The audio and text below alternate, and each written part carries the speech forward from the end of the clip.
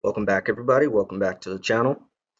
So today we're going to be talking about how to implement uh, syntax highlighting into your programming language. So I know for a while we've kind of been dealing with just a blank uh, file where it didn't really have any colors or anything.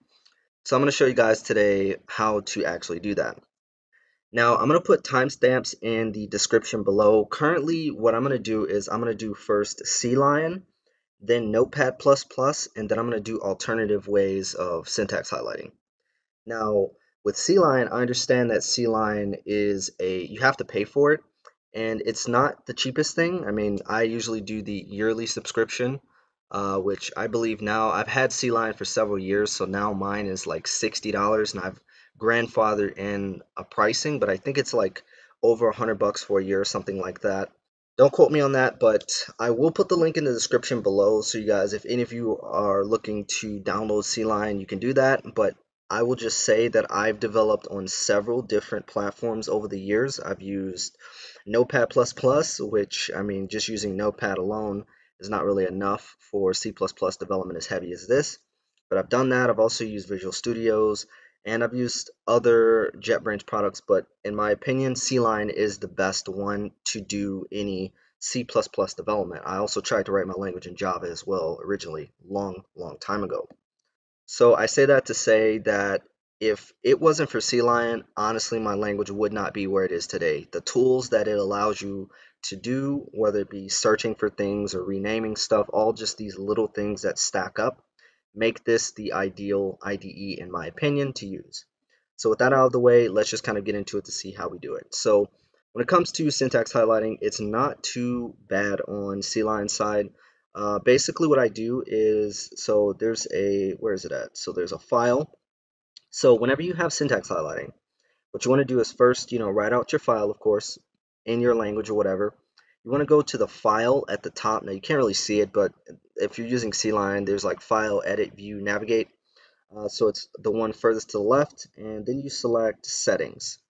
Once you get into the settings, then you're going to want to type, I, am already here because I've already done the uh, editing, but you want to search for file, space, types, and you want to look for file types, and that's going to be located under the editor, and it's just going to be here. So it's going to be file types under editor once you do the search in CLion. Once you do that, you're going to want to add this plus. Now, I've already added my language, so I don't have to do this, but when you add the plus, or when you hit the plus, you're going to be asked for a name, a description, and then a couple of different things. So let's actually click on my language to see what I have. What you're going to want to do is first put the name of your file type. That's going to be what's displayed here. And then you can put a description. It doesn't really matter. You don't have to do that. Um, now, there's going to be a couple different things that you want to do. So you want to, of course, say, all right, what is your syntax for starting a line? For a single line comment, for me, it's just two slashes, just like in every other language. For block comments, it's pretty standard in other languages as well. You also want to have your hex prefixes if you have hexes in your language or not, doesn't matter. Uh, none of these fields are required, by the way, so if you don't have any, then you could just click OK and it just goes away and it's fine. It'll just implement whatever you put in there. I also have number postfixes, which uh, for my language, it's plus E. So like if you have a number of 100 uh, plus E10, then you're going to basically give the exponential or the scientific version of that actual number. Um, so I have that as a postfix. And let's see, so support pair braces. So I don't do any of that. I uh, support paired braces or paired parens, I mean, and I also support string escapes because, of course, if you have like a slash new line or whatever, you want to differentiate that in the actual string. So, and then finally, you have keywords. So, it's at least with CLion, the way that it works is now if you're using an older version of CLion, it may look different or it may look different if you're using a newer version of CLion. So, keep that in mind. But this entire process is exactly the same. I've used this process before several years ago and it's still the same thing so hopefully this will still be valid but you uh, want to have basically four tiers of various different things now in my opinion and from what I've seen and how CLion does the actual tiers of each language or each word type the first tier is going to be what I call your common words. So as you can see here, that's going to be like class, private, var, define, if, you know, return, all of your most common things and this is also going to change depending on your theme right? So if I go out of here and I like try to change the appearance behavior and I try to change the theme of the actual IDE and make it from like dark to light or whatever this still stands. Whatever the most common word is will kind of all be in this one. Now the second one is mostly I use this for just true false and null.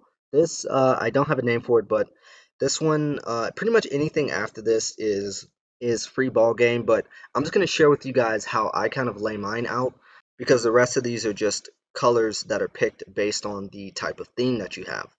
So for number two, I use, you know, false, null, and true. For three, I use uncommon words uh, or words that you won't see that often. So like int 16 and 32. Uh, interface, um, nil is very rare because you don't have to put nil if you don't return anything thread local, volatile, which is something for assembly statements in my language. Um, and then finally, the fourth one, I use even more uncommon words. So things like extension, uh, get, init, and you know, I mean, you can read the rest, but that's kind of what I use for that, and that's kind of how I do it, and that's it, and I click OK. So once you're done with that, then you want to now add what's called a registered pattern. So you're going to click this plus here, and you're just going to say everything dot and then whatever the extension of your you know language is. So everything dot lang, whatever the name or the extension of your language is going to be, you click OK, and that will be added here. So that way, whenever uh, you have, you know, or you click on any one of these files, you can actually get the associated syntax with your actual language. So, and it just kind of picks that. So you click apply and then click OK, and you're all good to go. And that's it. That's pretty much how you implement syntax highlighting on the IDE of CLion. Now let's actually look to see how we implement this on Notepad++ because I know that some of you guys may not want to actually use this. You want to probably start with something a little bit more free. Then you can do this. Um, so if I go to Notepad++, as you can see here, I also have syntax highlighting for here as well. Um, this is actually located inside of my release folder. So in fact, if you download my programming language right now, by going to, where is it at? Uh, it is in the releases. So if I go down here to releases, um, so if I go here, click this, and you download the zip file, I actually have, um, if any of you guys are following my language, a file that you can import if you do want to use the syntax highlighting I have for my language. But let's go back to Notepad. So what you want to do is you want to first, of course, have your file that you want to click. Now, one thing I will say is that Notepad++ does not automatically apply the language mod to the actual file. So every time when you open that file, you're going to have to go up here to language and click sharp to ensure that that's the language that you use. Now, there is documentation for using the Notepad++ system to implement syntax highlighting and I'm pretty sure there's more things to do with Notepad++. I don't really use it that much so this is why I haven't gone that much in depth but I will provide links to that as well in the description below so you can check that out. So now if we want to implement our actual language spec then we go up here and click language it's at the very top so if I go here click language then you want to go down to user defined language and then define your language and when you do that, you're going to get this box. Once you get this box, you want to um, create new. So you want to create new, you want to type in the name of whatever your language is, click OK, and then you're going to be brought here to this actual box. Now here, I'm actually going to click sharp. Um, this is the one that I have. And then from there, you can actually, once it's created, you can do things like set the extension, uh, you can import um, an actual thing. So like for instance, if I go to user defined language, I can import an actual language file that I've exported. So once you create your language, what I would recommend, uh, or your language spec, I'd recommend you export that file into some location in your computer. So that way, if you ever, I don't know, upgrade Notepad++ or whatever, then you can always take that with you and you can just import that file. It's just an XML file that gets generated. So you can create your extension, like I mentioned. Uh, you can also rename it if you want. Um, and then you can set your transparency. There, there's tons of things you can do in here. Now, for me, I did not do any of this, um, but I think the words kind of pretty much uh, explain what it does. So, you know, you have your folding comment styles. So, so if you have various different comments, then you can, you know, put the styles in there. And if you click styler, you can actually pick uh, quite a bit of stuff. So you can pick what the font is actually going to be. You can pick the font size. You can pick whether it's bold, italic, or underlined. Uh, you can also pick the foreground and background color.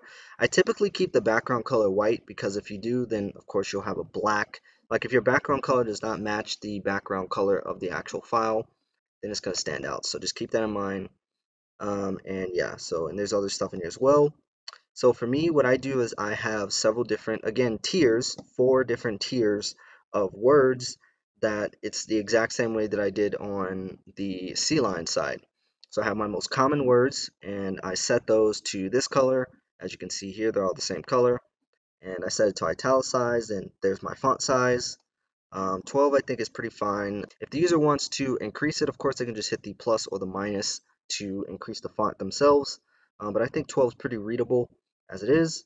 And so we have our second group, which is our most uncommon uh, then third, which is, you know, those values, and then fourth, which is these. So, and of course, I have different styles for each of my various different um, classes of words, I guess, in my actual language.